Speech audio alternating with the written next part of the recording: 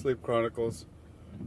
Um, with the new Fitbit, I'm tracking my sleep and uh, I'm moving in the right direction.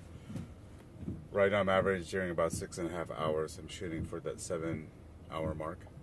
So, one thing that uh, I need to tweak, that I will tweak, is um, using the blue blue light blocking uh, glasses. I at night instead of watching videos on YouTube.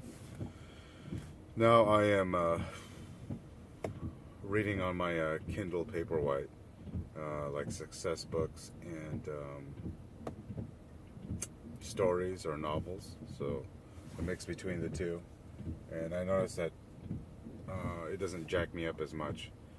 Um, especially the success books because it, you know some of it is not always the most exciting stuff and it kind of puts you to sleep. Rather than watching uh, K-pop EXO videos which uh, kind of jacks you up.